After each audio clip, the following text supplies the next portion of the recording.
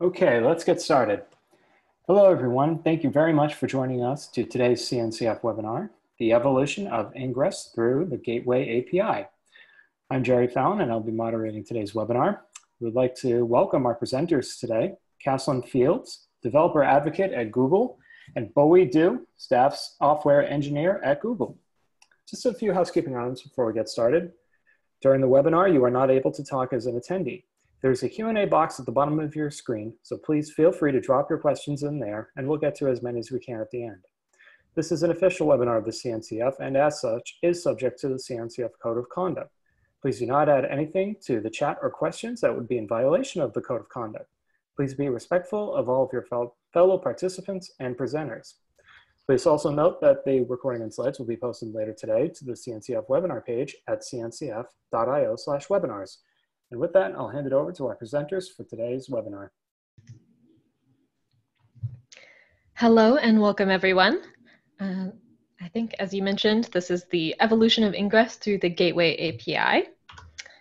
And there we go. Like you said, I'm Kaslin Fields, and I'm a developer advocate at Google. I focus on DevOps, Kubernetes, containers, and all sorts of things. And I'm also a Cloud Native Computing Foundation ambassador. And today I have with me. Hi, I'm Bowei. I'm uh, one of the leads on Kubernetes networking and GK networking at Google. So good. Cool. Yep. so let's get started. So today we're going to be talking about Gateway API, and I wanted to tell you all a little background on how I found out about this, which honestly I don't really know. I am a Kubernetes kind of person. So I'm in all of these Kubernetes groups and things. And Gateway API was one of those things that I heard about at some point, and I was like, wow, I would love to learn more about that. So I learned about Bowei and the team creating Gateway API, and I started learning about it. So what I'm going to share with you all today is what I've learned so far. I'm going to give you all a little bit of a demo, and Boe is going to jump in a little bit deeper. So to start off with, what is Gateway API and kind of where does it come from? So in terms of Kubernetes ingress and uh, the ways that kind of networking and traffic within Kubernetes are handled, traditionally uh, these types of roles have been a single type of role and it's been very self-service in style. But over time, as more and more companies are, are adopting kind of the DevOps uh, methodology for dealing with Kubernetes and adopting cloud native technologies, this is changing. There are now many roles that kind of touch this space. And so the permissions and the way uh, ways that people interact with these tools are changing as these roles are kind of diversifying.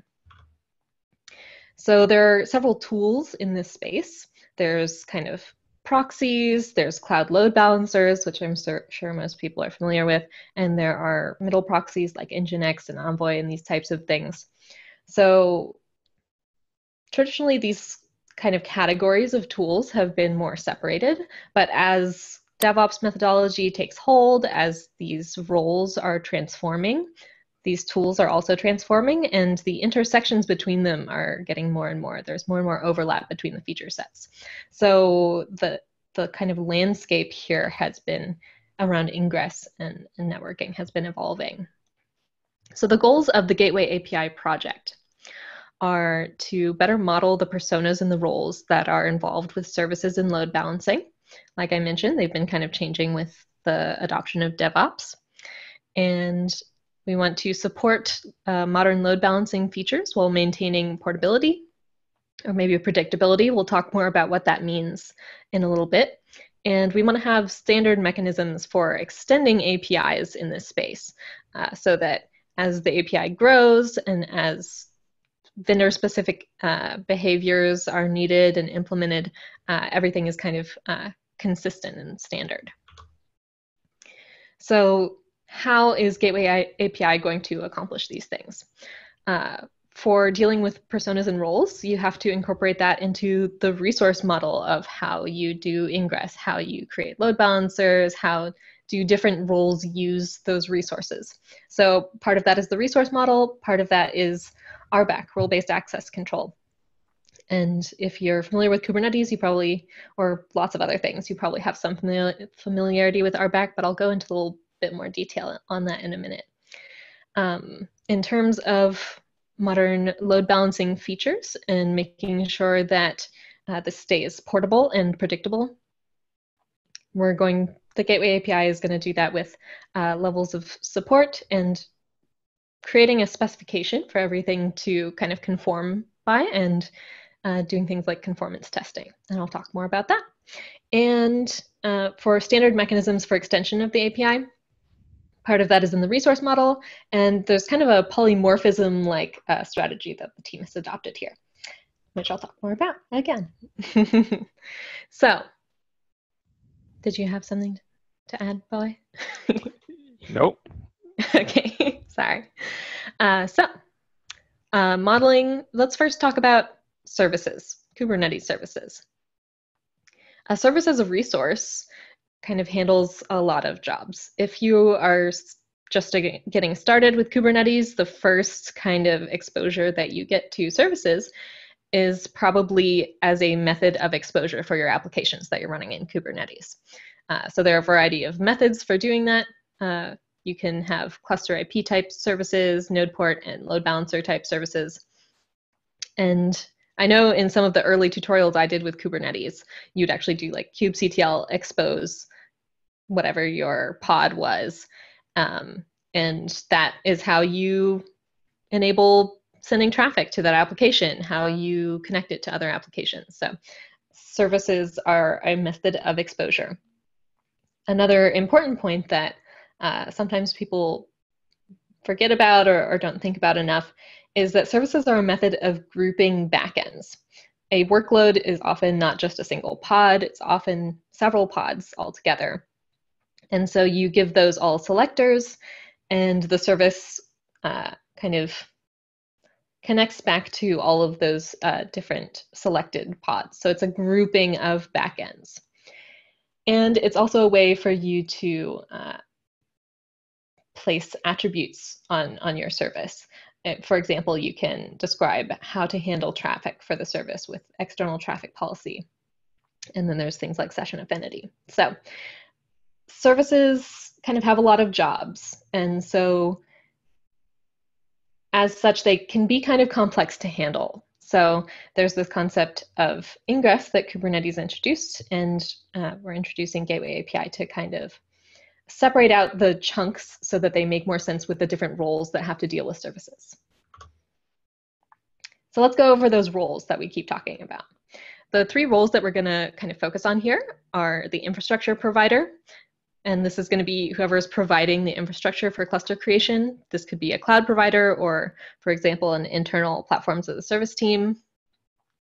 There's also the cluster operator or cluster administrator, network operations, site reliability engineer. These types of roles uh, do cluster management once it's been created. They're responsible for overall policies, for example, what services to expose to the internet very important in terms of security, especially. And then, of course, there's the application developer who is actually building the applications, and thus they have uh, some stake in the services that expose those applications, and they have some stake in defining traffic routing to those services. And this is kind of how we think about these roles. Now, I mentioned RBAC earlier. I want to give a brief overview of what Kubernetes RBAC means, or kind of RBAC means in general. And RBAC is a way of uh, describing roles using clauses. So a RBAC uh, rule kind of has a user, a role, a verb, and a resource.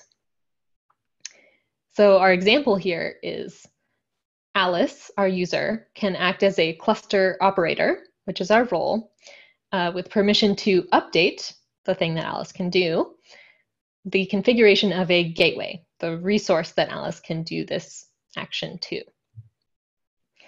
So the important thing here is to remember that there are many different types of roles, different personas that need to be able to do different things. They need different permissions. So this is a way to kind of control that.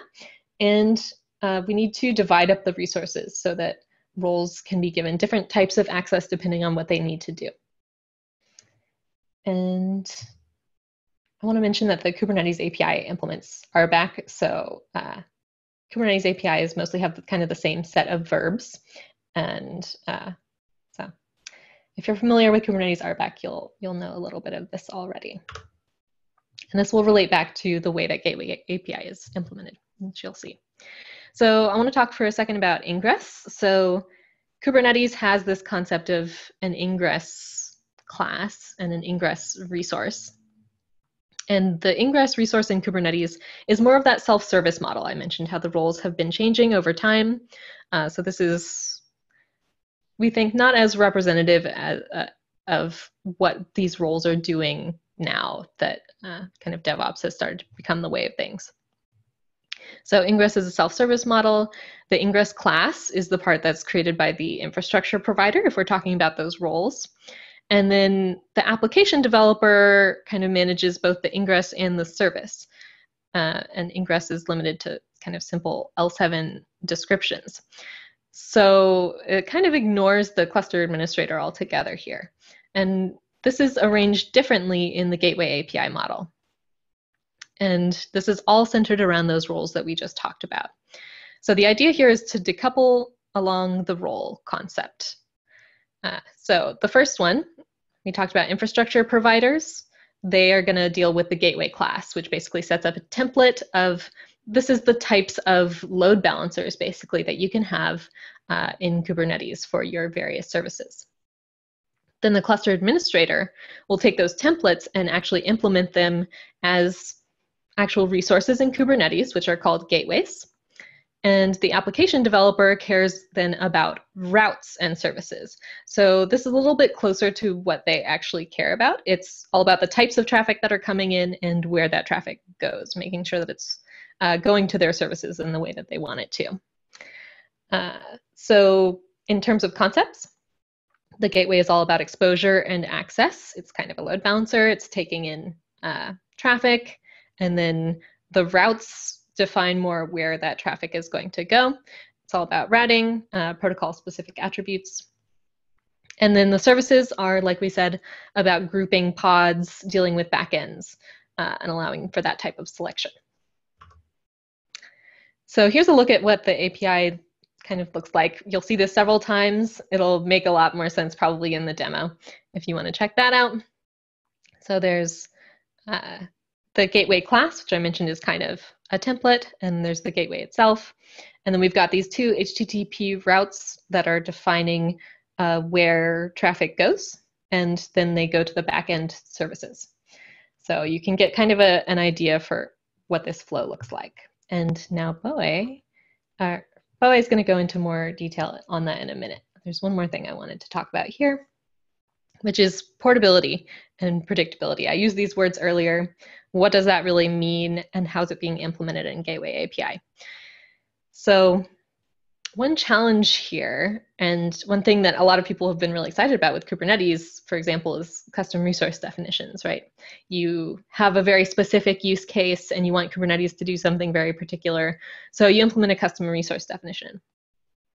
The challenge is that sometimes uh, the ways that these are implemented aren't very standardized, and so they can be kind of challenging to deal with.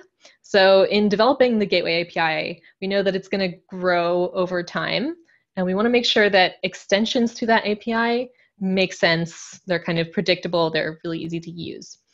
So we're doing this with these few concepts. We've got the core API of the Gateway API, which is kind of, you know, the core functionality should be 100% predictable and portable. You should know what it looks like. It should be pretty easy to use. Then there are going to be this concept of extended API, where you've got core API concepts that you're extending just a bit further out. And we want to make sure that those conform to a standard specification. So uh, that's kind of the idea with the extended API. And then implementation specific APIs is going to be all of those edge cases where I really want it to work this way for my specific use case. You can still do that and it doesn't have to conform to our expectations uh, if it's just kind of a, a one-off type of thing. So core must be supported. Uh, extended is kind of a feature by feature thing. Uh, it might be supported, but it really must be portable. So we want to make sure that it conforms to our specification. And it's part of the API schema. And then implementation specific is no guarantees there. It's whatever you need for your specific use case. And how will we make this happen? With conformance tests. Uh, so if you're doing an extended feature definition, then we're going to require uh, that you do self-contained conformance to make sure that that conforms to the specification uh, and everything kind of makes sense between the core API and the extended API. And all extended features must be checkable statically.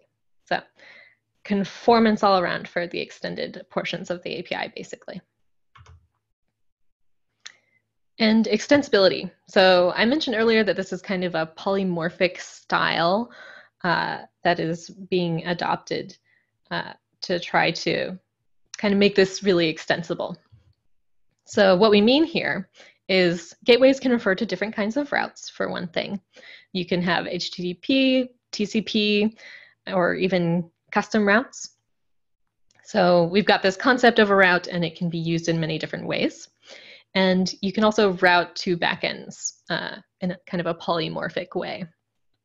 And if you're familiar with the concept of custom resource definitions in Kubernetes, like I mentioned earlier, this is using uh, custom resource definitions to make this work. And now Bowei is going to go into more detail on all of this. Yeah, thanks, Kaslin. Um, so now we're just going to go into sort of give a taste of the API. So next slide. So we'll go through a user story where we have the different roles. So imagine we have Alice, the IaaS provider. We have Bob, the SRE. And we have Carol, the application developer. So next slide. So first, we start with Alice, the IaaS. She's the person who's providing, let's say, the cloud provider, or in many cases, the person who sets up the overall infrastructure for your Kubernetes clusters. And as part of this, she has basically two flavors of load balancers that she wants her users to use. She has one that's external, and this basically creates a load balancer that's accessible on the internet, and one that's internal, and this is internal to the VPC. This kind of comes as part of the infrastructure for Kubernetes clusters that she is providing. The way she will sort of express this in the API is that she will create two gateway classes that come basically pre-installed with the Kubernetes cluster. She will create a gateway class called external. And then because, you know, it's Alice Cloud, so she has a controller called alice.io that's going to facilitate all the gateway APIs. In addition, she has another gateway class called internal, and similarly, it's controlled by the same controller. What this gives uh, Alice's users is a way to kind of talk about these functionalities without actually talking directly um, about alice.io, gateway controller, or kind of knowing the internal implementation details. For example, Alice may be changing her controller, or she may be changing attributes about uh, you know, how the controller works and its set up and so forth. And uh, kind of the users of her cluster actually don't need to understand that. They just need to understand that, oh, I want a load balancer on the internet. I'm going to use a gateway class of external. Similarly, a private load balancer, I'm just going to use internal. So it kind of allows a bit of decoupling between the underlying platform and the users of the cluster. Uh, next slide. So now that Alice uh, has set up this overall infrastructure, next comes Bob, the SRE. So Bob is in charge of managing actually stuff that's running inside the cluster, not just the infrastructure itself. And he's also responsible for various policies, especially around load balancers. For example, it would be bad if you know, arbitrary users can just kind of expose their applications on the internet, that would probably be quite unhappy. So Bob wants a couple of things. So Bob wants that only certain namespaces can deploy external LBs. So imagine that uh, he's going to control how to label namespaces, and he basically says, if I label your namespace with internet external, you can create an external LB, otherwise, no. Like, I don't want you to be able to go on the internet. Also, the second thing that Bob wants is that he knows that developers want to be able to, you know, experiment and just kind of do their dev work. So anyone can deploy an internal LB. And finally, um, anyone can deploy an in-cluster proxy for testing. Bob knows that uh, Alice.io is going to be charging for these LBs, and then maybe he has some custom configurations. So he wants to use an Acme.io proxy. So he basically deploys that as well. So um, first we have these uh, gateway class definitions, and Bob actually edits one of the definitions for external to basically say that only those with uh, internet external can, on their labels on their namespace, can create uh, gateways of this class. Internal, he's going to allow everyone. That's the default. So he's going to allow everyone to create internal class. And then actually, um, can you click? He's going to actually install an Acme IO proxy. And this basically adds another gateway class. He's going to call it test. He says, hey, if you want to test things out, use uh, gateways of this class. Okay, next slide. So now we get to Carol. Carol's the dev. She's going to be developing the application and kind of writing uh, descriptions about how her application is routed and attributes about it. So she has two applications. One is store, one is checkout. The first one, uh, store, she writes a route for store. So this is store.acme.io. And you know it has a bunch of rules about matching, let's say root goes to the store service, and then the search path goes to the search service.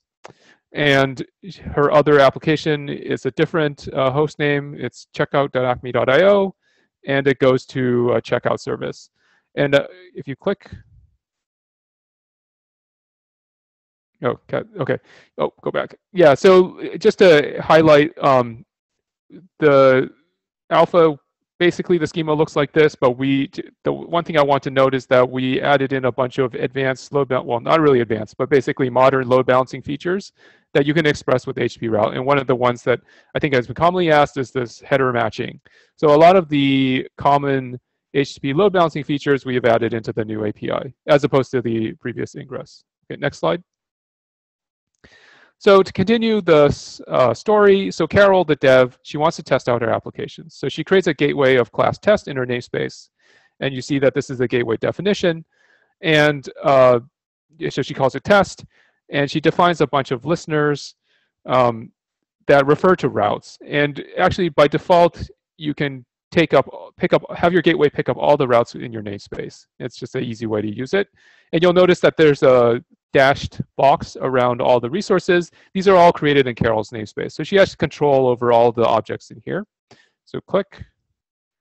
So a gateway to kind of get into more detail about what it is, that what does this API represent? So gateway is actually a request for an LB. And it, you'll notice here that it's actually quite underspecified. For example, I'm requesting a listener for protocol HTTP, but I didn't fill in the port. I didn't fill in the address I wanted. And it's up to the controller to kind of fill in the blanks.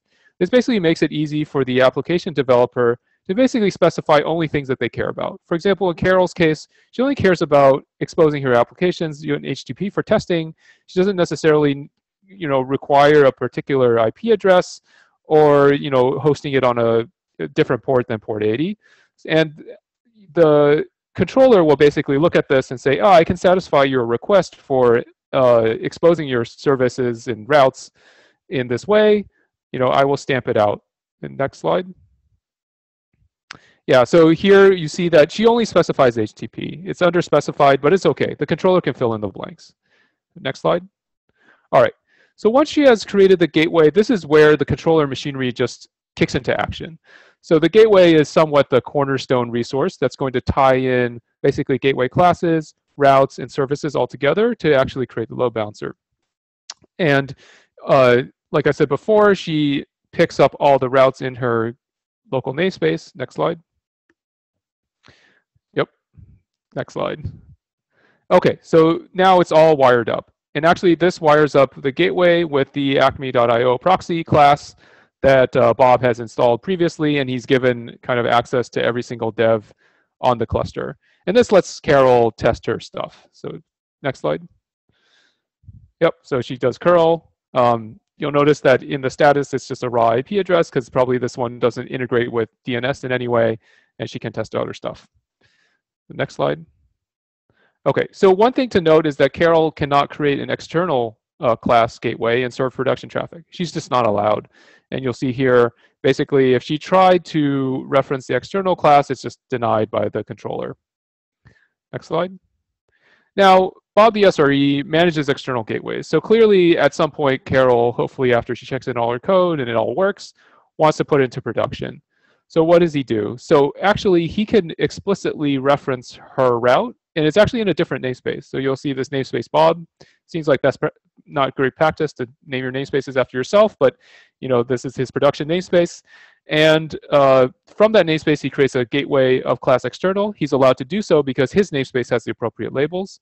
And he references a route in Carol's namespace. So he actually brings Carol's uh, routes into this uh, gateway and expose in doing so exposes it into the internet funny enough like this has been a very commonly requested feature for ingress is to basically refer across namespaces.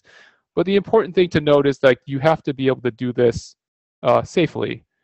So it is very easy um, if you have cross namespace that you ended up having situations where someone can expose something that you didn't intend to expose or the other way around.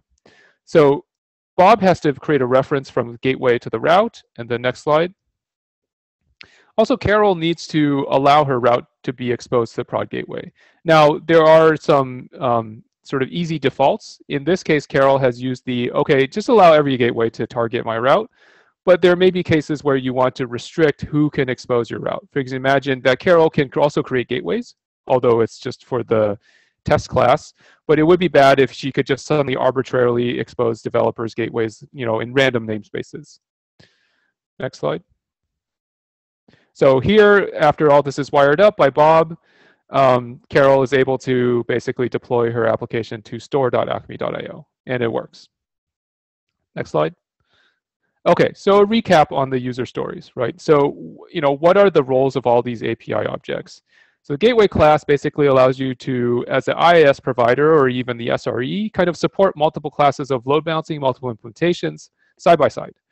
And it reflects the capabilities of the IaaS or uh, underlying deployed infrastructure. In fact, uh, you know, you can install a new gateway, well, assuming you have permissions, you can install new gateway classes and lets you mix and match different implementations as you see fit. It also gives a layer of abstraction from the underlying platform. For example, if you're managing a cluster and you're kind of building a platform for your users, you can kind of hide them from the fact that, oh, this is going to be a specific kind of uh, load balancing that we're using versus just, oh, this will be put on the internet, this one's cheap, this one's internal, this one's special in some other way. The next API object is gateway. So this defines how your application is exposed. Um, you know, what is the virtual IP import? What kind of proxy is going to be used? And it also, this is the thing that ties it together to kind of kick off the controller action to expose your application. Finally, we have route and service. So route defines routing for your application for a given protocol. And then services, uh, you know, basically, I think what service does really well is define how your backends are grouped. And this is the decomposition that we're hoping uh, we can move towards. Uh, as mentioned earlier, it's like how do we take these things that are just all focused on service or all combination of service and ingress and kind of decompose them into their different roles. And then once you have de decomposed them into different resources, you can assign them to different roles. Next slide. So also um, going into like what we're seeing in the user story, so we can deploy multiple classes of load balancing. We can control access to different gateway classes, and we can also control access to different gateways. So basically, this lets you do cross namespace sharing in a safe manner. Uh, and it's kind of, if you can think about it as like access is a handshake uh, between gateway and routes. Next slide. So if, if you are astute and thinking through, you know, what's happening here, clearly if you have a bunch of routes, they get merged into a gateway.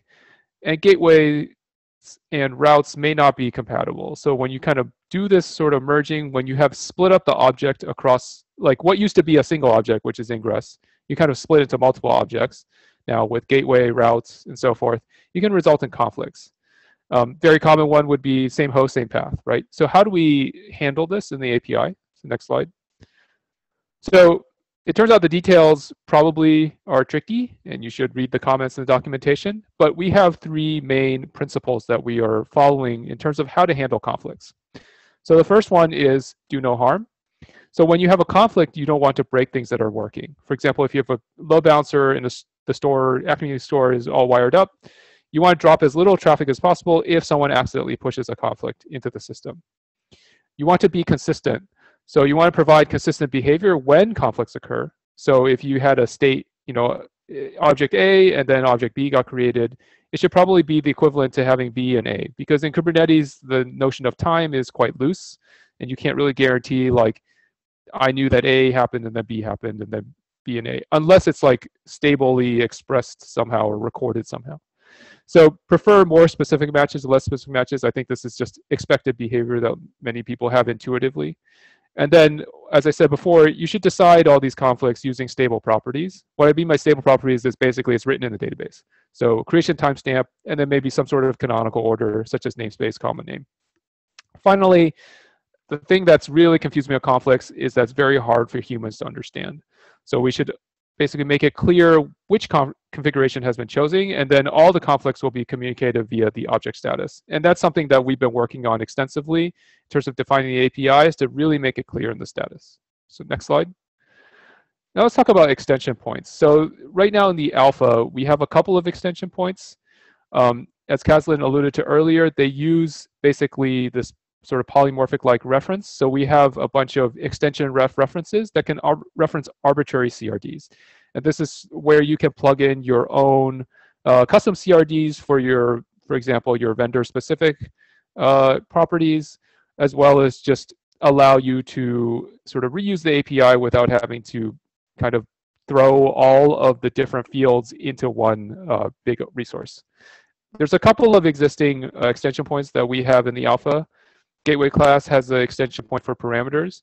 Gateway listeners each have an extension ref for customizing listener properties. And then routes have uh, this notion of filters, which allows you to have extensions in terms of how the processing works. And then backends can be referred to more than just services. Ingress actually has this uh, in the GA form, is that you can point to just more than services, and the same thing gets carried over to the gateway APIs. This is an area where I feel like we really need feedback to kind of understand, okay, are these super awkward? Should there be broader investment in API machinery to make this uh, happen smoother, and what does that look like? So definitely feedback is needed. Next slide. So one thing that we're very excited about in the service APIs and gateway uh, sort of group that we're working on is that we're actually very close to the alpha. So it should be cut in a matter of weeks. Um, what's currently in the alpha, we have support for basic application data types. So there's gateway class, gateway, all the different routes uh, listed there, support for TLS and kind of defining how to deal with TLS. We have um, authors who are going to have implementations both for in-cluster proxies, so it's like a merging style where gateways kind of definitions get merged into a single infrastructure, as well as a provisioning style. It's basically you create a gateway and it kind of provisions a load balancer for you. Um, what remains to be done, of course, a lot remains to be done. I think the key thing is to get feedback from users. Uh, we need to define those conformance tests that we talked about before. And then one thing that we punted for now that was in previous uh, conversations about Gateway is how to do delegation. So not, not only delegate from Gateway to route, but then actually from route to other routes. Sort of can you carve off, say, sections of your website and then kind of delegate it to a different team, a different namespace. So not only can you share a gateway cross namespace, but you can also share pieces of the routing itself uh, namespace. And then with these things, hopefully we can gain confidence towards uh, beta. Now, next slide. All right, now we're ready for a demo. One thing I wanted to mention before we go into the demo that I wanted to mention at the beginning and forgot is even though Bowei and I are both from Google, this is an open source effort with uh, more than just us involved in it, right? Do you want to say anything there, Bowei? yeah, this is a, there's a landing page at the bottom. It's like a sub-project of SIG Network, and we have a lot of participation uh, from many different vendors. And really, we're looking at creating a portable uh, sort of standard, and a lot of the discussion is around how to do that, and that's where the difficulty is. Yeah. So now, like I mentioned, I'm pretty new to this stuff, but I got to do some cool hands-on trying this out. If you're interested and want to do that as well, feel free to join us at this uh, bit.ly link or find the thing on GitHub when I move over to that in a minute. Sorry. I need to like change this. Surprise! There was a terminal under there all along. okay.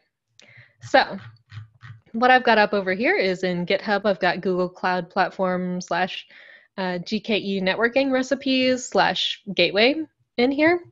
Uh, so this is a fun little tutorial if you want to try this stuff out for yourself. Uh, it's pretty easy to get started with. I didn't really have too much trouble with it, so would recommend if you want to check it out. And I'm just going to kind of run through this a little bit. Uh, so if you are new to this like I am, which I assume pretty much everyone is, this is a good way to get hands-on. What you need is a Kubernetes cluster. You'll install uh, the API custom resource definitions. Uh, you'll install Istio. And uh, you'll need to, I think I've already got this stuff here. Um, but I'll run it again just to make sure. So I'm going to need these um, kind of parameters set. Going to copy this and paste it over just to make sure that I've got all of those set up. There we go. Cool.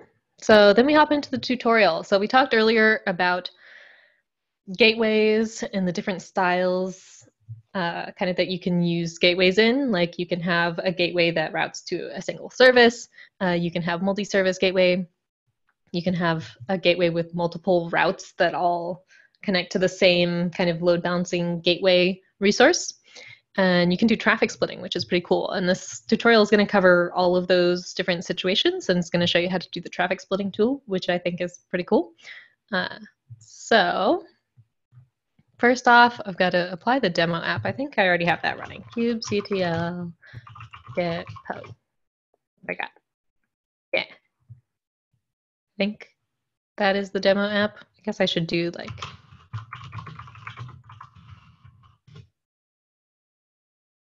foo and bar. Is that what it creates?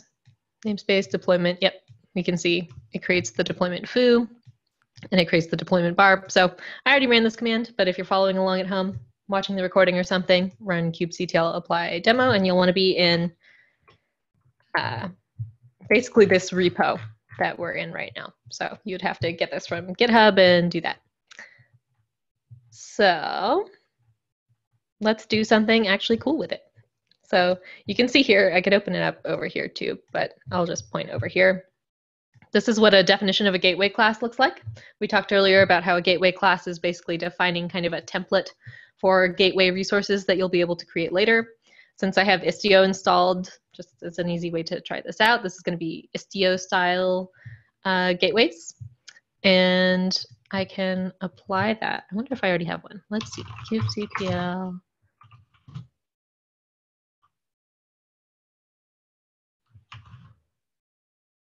Ray class? I don't know. Yeah, so I already did this. I've got my gateway class up and running. Uh, but how you would do it is just to run the thing from this uh, repo. So I've got my gateway class. Next thing is to create some gateways.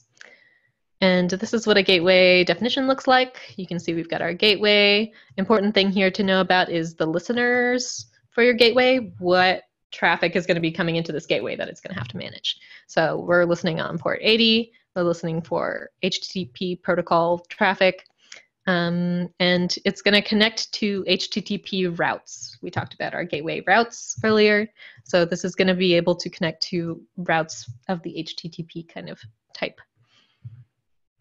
And you can see a cool diagram of how all of that works here. And so here's what the HTTP route definition looks like if you want to check that out. Um, it's going to define kind of uh, where stuff goes, the name of the service that your uh, incoming traffic is going to go to. And this one is a single service style, I think. So uh, we're going to apply that. So what I'm doing here is creating the HTTP route.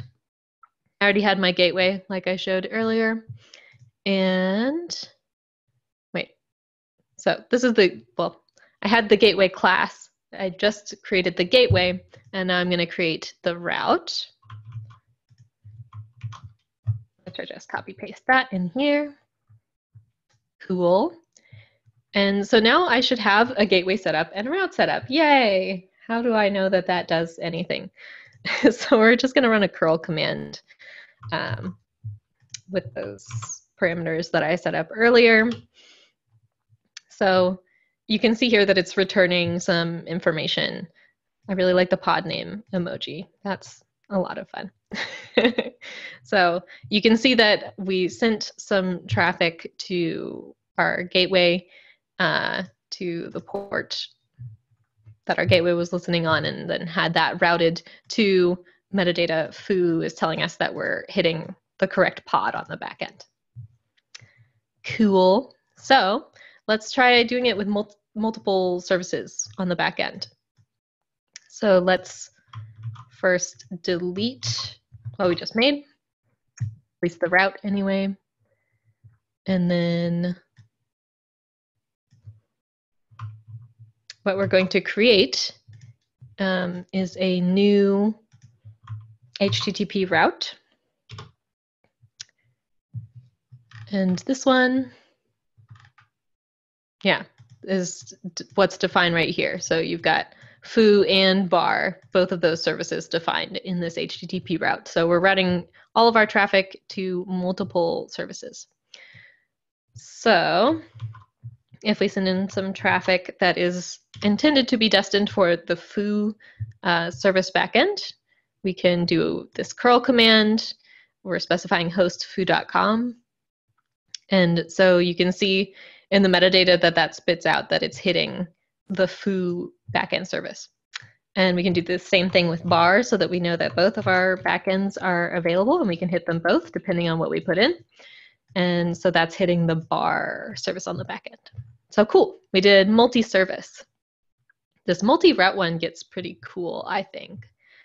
So we've already got our multi-service uh, HTTP route defined. Now we're going to define a new one to yet another service. First, I've got to deploy that app, which I think I actually already have running. Um, deploy. I don't. So I will run this to run the new backend service that we're going to route some traffic to. I mean, it said it deployed it, so I don't really need to check, but there you go. There it is. And then we're going to create another new HTTP route that's going to route some of our traffic to uh, baz.com. Well, to our Baz service on the backend from baz.com host names. So let's apply that HTTP route. And then uh, let's send some traffic to it. Cool. So now we've got uh, multi-service route, and we also have multiple routes uh, that can route all of your traffic to different backends. So that's pretty cool. And then traffic splitting. I mentioned earlier that it's pretty cool that the Gateway API also includes traffic splitting capabilities in it. So we're going to uh, create another HTTP route uh, to our foo backend and, well, create another backend. So we're going to have 20% of our traffic going to one backend and 80% going to another. So Let's create a new foo store uh, backend for this. And we're going to apply our new traffic splitting HTTP route, which is this uh, definition that we were talking about earlier with the weighted uh, traffic splitting.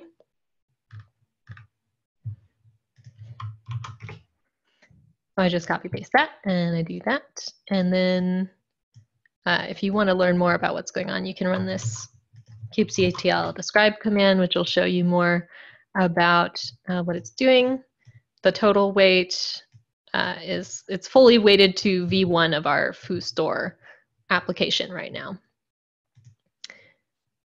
So now I'm going to create another tab here.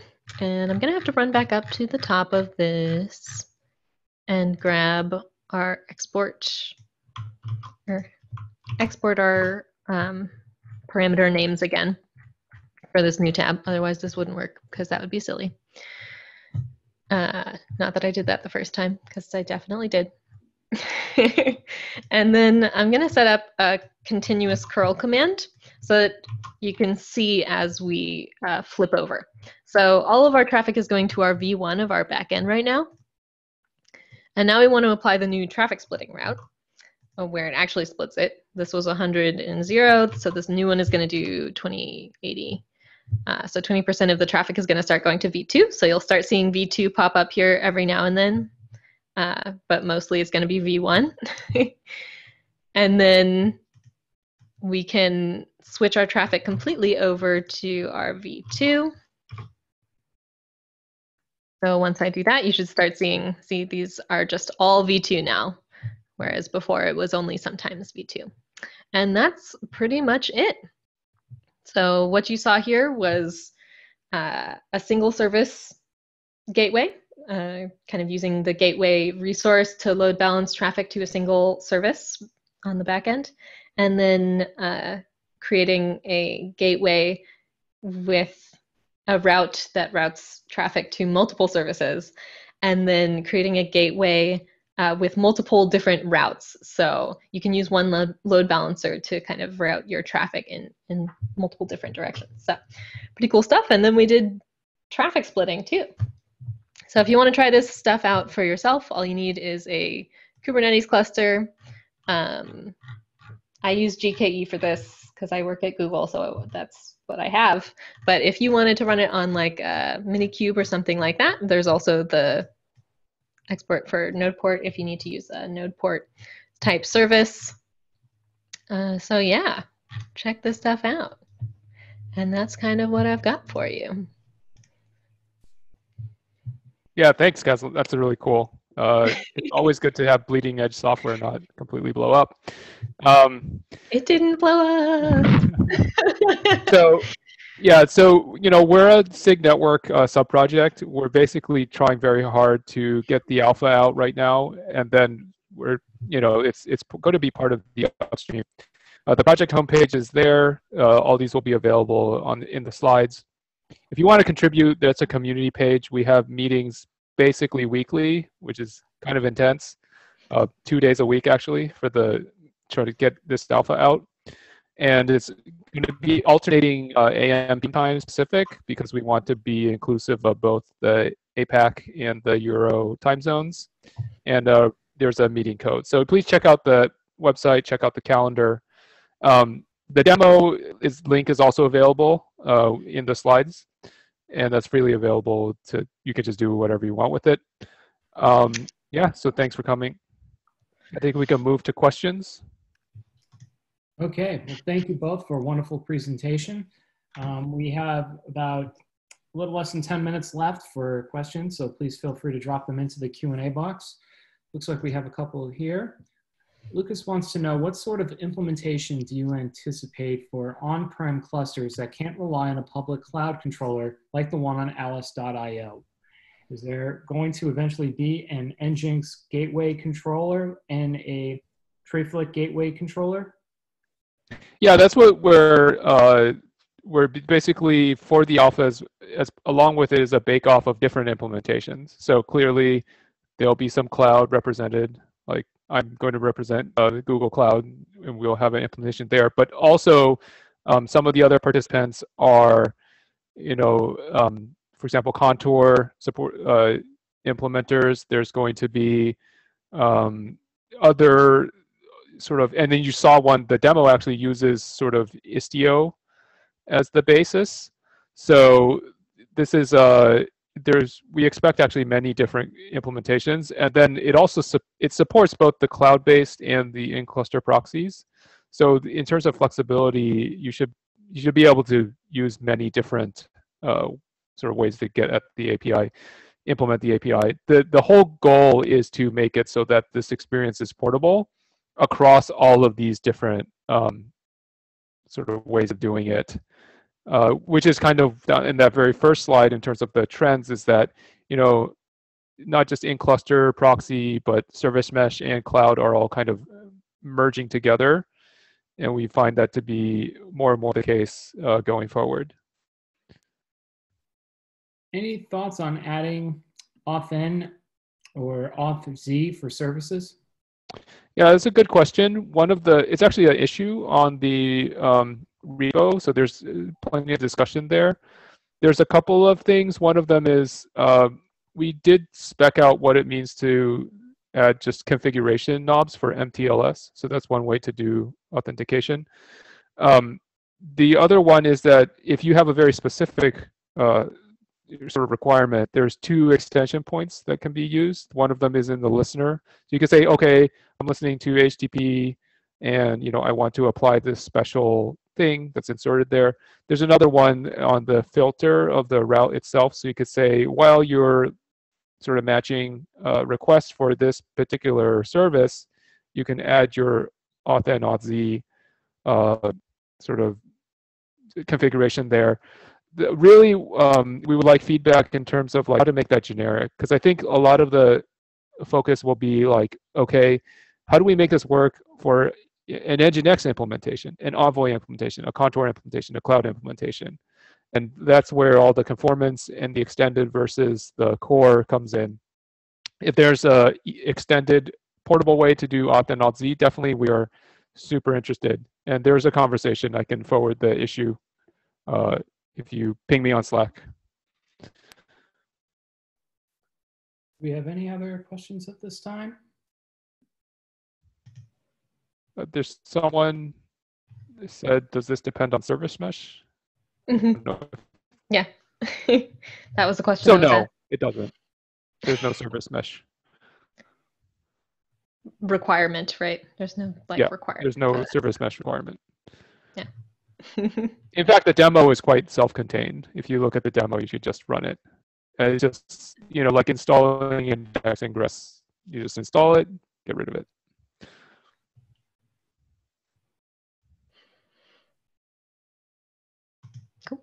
I think that's the last question we had for now. Anyone else they would like to chime in with questions? We have a few minutes left. So if you have anything you'd like answered, now's the time.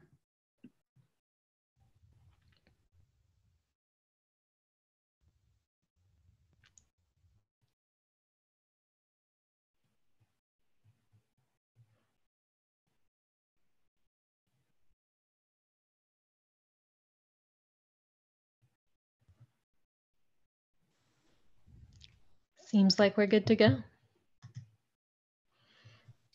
All right, then. Well, then we will wrap this up. Thank you, everyone, for joining us today, and thank you to our presenters for a wonderful presentation.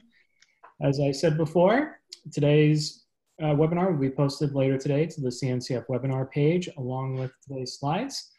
Thank you both very, again for a wonderful presentation, and thank you, everyone, for joining us. Stay safe, take care, and have a wonderful weekend.